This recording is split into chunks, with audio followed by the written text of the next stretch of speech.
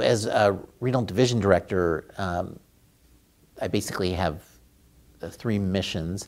The first is and foremost is to take care of patients, um, make sure they're expertly taken care of and uh, in a very caring manner.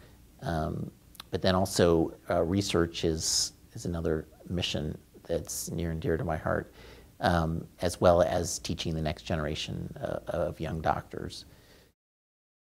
I have a laboratory here, and we're interested in polycystic kidney disease, um, which actually is the most common potentially lethal genetic disease affecting half a million Americans, 12 million people worldwide. Um, and there's currently no approved therapies, although uh, I think in the near future there will be some based on the research of many others, including ours. Uh, we're a test site for a new treatment, tolvaptan, um, that, I, that I think will be um, it's very promising.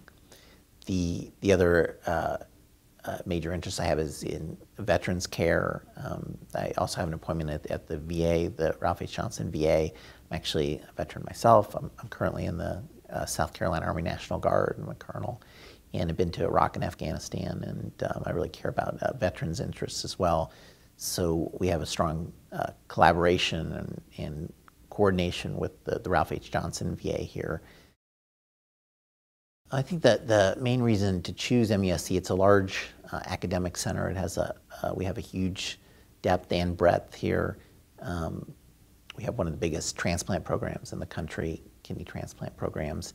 But I think uh, importantly, not only is this care expert, but it's delivered in a, in a very caring way.